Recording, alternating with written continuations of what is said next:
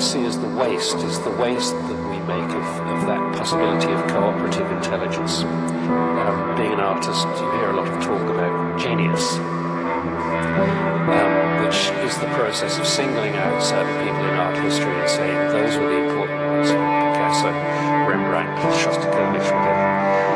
Whenever you look at any of those artists, you find that they they lived and drew from very, very active, flourishing cultural scene.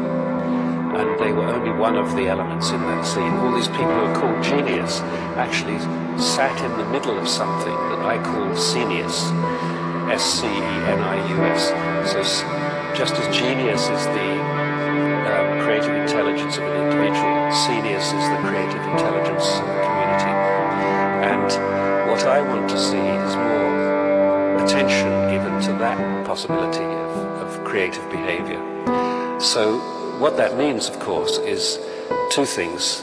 One, one of them is the understanding that all people are born unequal, so everybody has a particular and unique set of gifts and talents, whatever they are.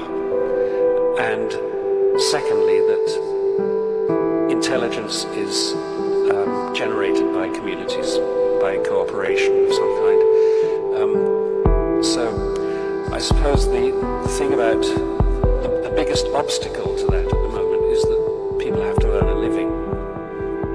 I often get asked to come and talk at art schools, and I rarely get asked back because the first thing I always say is, I'm here to persuade you not to have a job.